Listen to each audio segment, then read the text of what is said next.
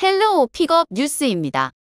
니폰TV는 한국으로 건너가 취업 활동을 하고 있는 일본 20대들의 힘들고 불행한 모습을 촬영해 한국의 비참한 현실을 보여주려고 했습니다. 하지만 그들이 바랬던 모습은 없었고 행복한 모습을 하고 있는 일본 젊은이들만 있었습니다. 일본에서 건너온 젊은이들은 한국은 살기 좋은 나라고 자신의 능력을 인정받을 수 있는 나라라며 행복해하고 있었습니다. 일본은 30년째 임금의 변화가 없는 나라로 유명하다고 합니다. 부모 세대가 월급을 100만 원을 받았다면 자식 세대도 100만 원을 받고 있다는 소리입니다. 한때 미국을 살 수 있다던 일본이 버블 경제 붕괴로 발생한 잃어버린 30년에서 아직 벗어나지 못했다는 것입니다. 한국으로 넘어가는 일본 사람의 숫자가 늘어나는 이유 중 하나라고 합니다. 출연자는 일본은 여전히 과거에 머물러 있는 상태이고 아무리 개인이 노력을 한다고 해도 그 노력에 비해 얻을 수 있는 이익이 없다고 합니다. 또한 꽉 막혀있는 기업 문화와 개인보다 전체를 중요시하는 사회가 싫었다고 합니다. 한국은 개인의 노력을 인정하는 편이고 그것이 월급으로 연결된다고 합니다. 최근에 한국은 코로나로 인해 재택근무가 활발해졌고 그래서 보다 자유로운 회사 생활이 가능해졌다고 합니다. 이때 PD는 억지로 한국의 안 좋은 점에 대해서 말해달라고 눈치를 줬습니다. 출연자는 한참 고민을 하더니 한 가지를 말하게 되었는데 한국은 미세먼지 때문인지 공기가 나쁠 때가 많다고 했습니다. 한국의 미세먼지는 중국 때문인데 마음이 아픈 것 같습니다.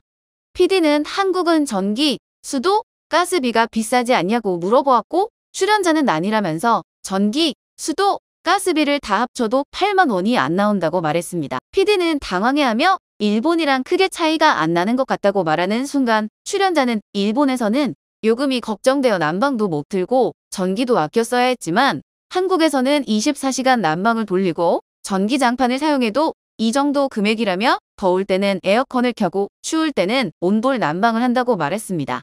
PD는 지쳤는지 마지막으로 한국인들도 취업이 힘들다고 하는데 취업이 잘 되냐고 물어봤습니다.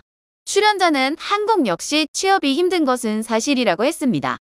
한국은 성공을 바라는 젊은 사람들이 많아 스타트업이 인기이기도 하고 취업이 아닌 창업 활동도 활발하고 개인의 능력을 보여주는 크리에이터도 유행이라며 한국에서는 일본보다 다양한 방법으로 취업을 할 수 있다고 말했습니다. 한국은 새로운 기술이나 문화가 생기면 가장 먼저 적용해서 생활을 하는 데 있어 편리함을 얻으려고 하는 것에 비해 일본은 아무리 불편하더라도 새로운 것을 받아들이지 않았다고 말했습니다. 두 번째 출연자는 한국에서 스타트업, 취업을 함께 준비 중이었고 한국에 살고 있는 일본인들과 정보를 공유하며 같이 일하고 있었습니다. PD는 출연자에게 취업 준비 기간이 얼마나 됐냐고 물어보았는데 출연자는 당당하게 1년째라고 대답을 했습니다.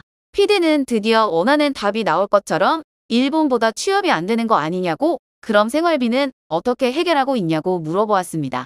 출연자는 일본에서는 꼭 취업을 해야 할 것 같은 압박감이 있었는데 한국은 취업을 늦게 하더라도 자신을 인정해주고 자신이 원하는 삶을 살 수 있게 해주는 다양한 곳으로 취업하는데 자신은 스타트업을 준비 중이라고 말했습니다. PD는 스타트업이라면 일본에서도 할 수 있는데 왜 한국에서 하냐고 물어보았고 출연자는 일본은 디지털 문화가 아직 부족한 상태이고 사회적 분위기가 스타트업을 인정해주지 않는 느낌이라 힘들다고 말했습니다.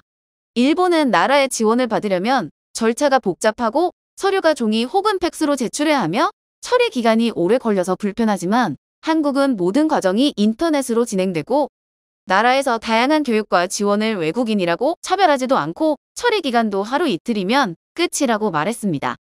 자신은 현재 한국의 드라마, 영화, 유튜브, 웹툰 등 다양한 콘텐츠들을 번역해주면서 생활비를 해결하고 있고 스타트업, 취업 활동을 같이 하고 있다고 말했습니다. 출연자는 일본에서 생활하던 것보다 행복하고 모든 것이 편리한 한국을 떠나고 싶지 않다고 말했습니다. 한국을 무시하기 위해 왔던 방송국을 비웃으면서 퇴근해 보겠습니다.